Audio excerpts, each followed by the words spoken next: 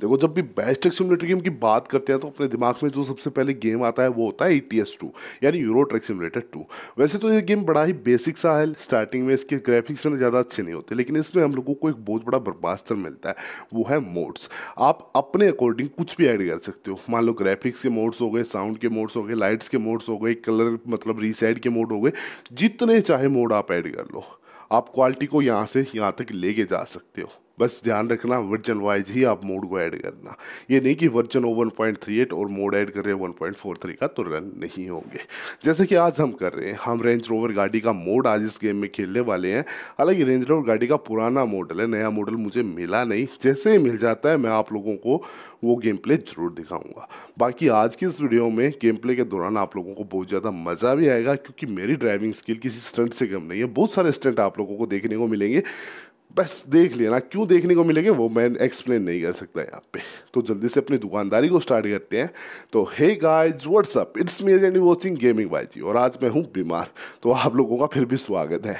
तो भाई, जैसे कि मैंने आप लोगों को बता दिया रेंज रोड मोड के साथ खेलने वाले हैं। थोड़ा सा पुराना मॉडल है और यदि आपके पास नए मॉडल का लिंक है तो डिस्क्रिप्शन में नहीं यार कॉमेंट सेक्शन में लिख के बता रहा क्योंकि डिस्क्रिप्शन में आप लिख नहीं पाओगे।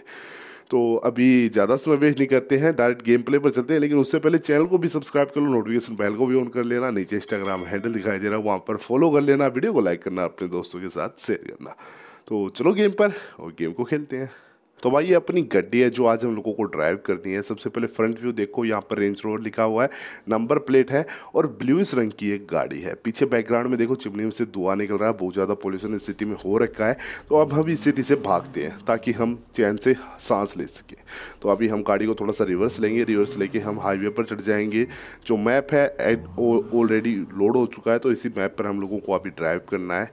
तो अभी हमें स्टेट जाना है, ये रास्ता हमें सिटी से बाहर लेके जाएगा, जहाँ पर हम हाईवे पर चढ़ जाएँगे और फिर हाईवे पर अपना रियल मज़ा स्टार्ट होगा क्योंकि वहाँ पर हम अच्छी खासी रेस ले सकते हैं गाड़ी में और फिर स्किल तो अपने बहुत ज़्यादा अप टू डेट रहती हैं तो आप लोगों को बहुत ज़्यादा मज़ा आने वाला है। वैसे भी कीबोर्ड के साथ कंट्रोल करना थोड़ा सा मुश्किल हो जाता है, लेकिन फ़िलहाल सिमुलेशन व्हील नहीं है, बहुत जल्द हम उसे भी परचेज़ कर लेंगे, उसके बाद हमें वो बहुत ज़्यादा मज़ा आएगा।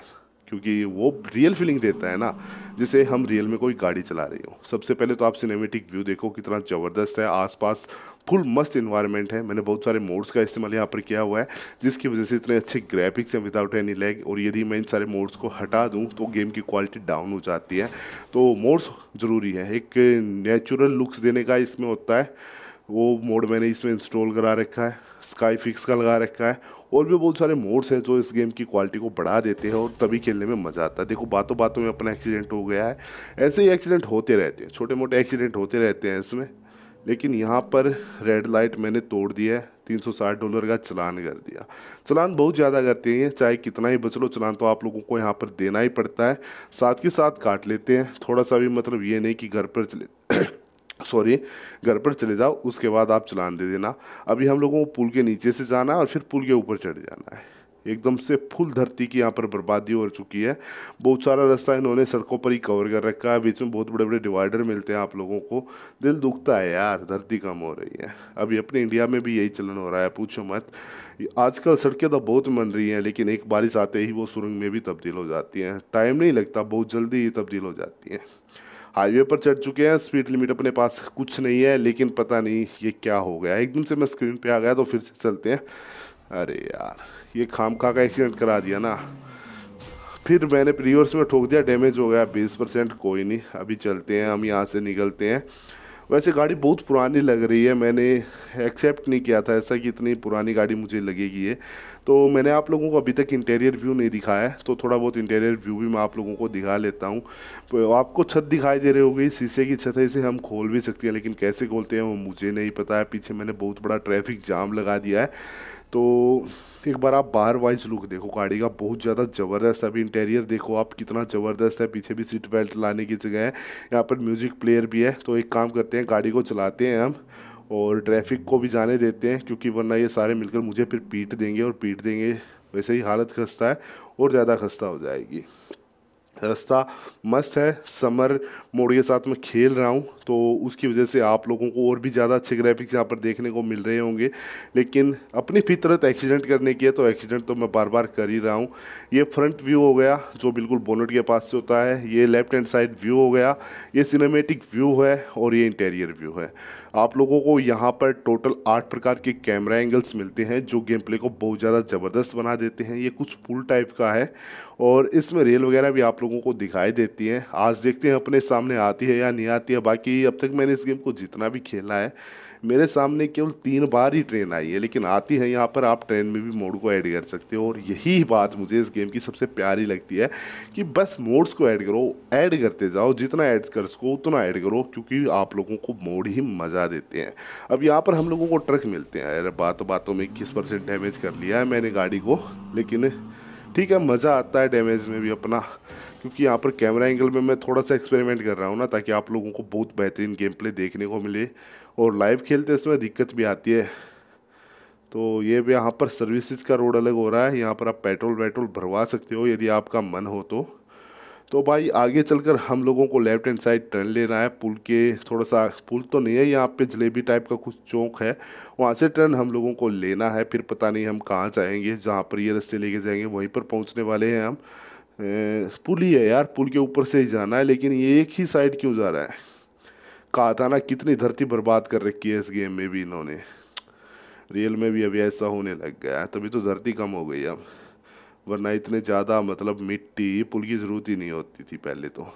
तो यहाँ से हम लोगों को लेफ़्ट हैंड साइड टर्न लेना है, ऊपर जाना है, यहाँ से अपना रास्ता चेंज हो जाएगा, लेकिन एक्सीडेंट डैमेज पे डैमेज फिर से एक्सीडेंट चौबीस परसेंट डैमेज हो चुका है, भाई आराम से ले ले, कोई तगाजा नहीं है, बिल्कुल प्यार से ले। टाइम बहुत है, कहीं पर नहीं जाना है। और व्यू देखो कितना ज़बरदस्त है, बिल्कुल ब्लू आसमान है, हरे पौधे हैं और रास्ते पट रहे हैं, साइन बोर्ड लगे हुए हैं और हमें कार डिप जाना है तो इस साइड ही हमारा रास्ता है तो यहीं से हम निकलते हैं। पीछे भी रेंज रोवर लिखा हुआ है। सॉरी तो अभी आप देखो, पहिए इतने ज़्यादा अच्छे नहीं दिख रहे। ये क्या हो गया? इंजन मॉल फ़ंक्शन आ गया सर्विस स्टेशन जाना पड़ेगा सर्विस वर्विस करानी पड़ेगी गाड़ी की, तभी जाकर थोड़ा बहुत फ़ायदा होगा।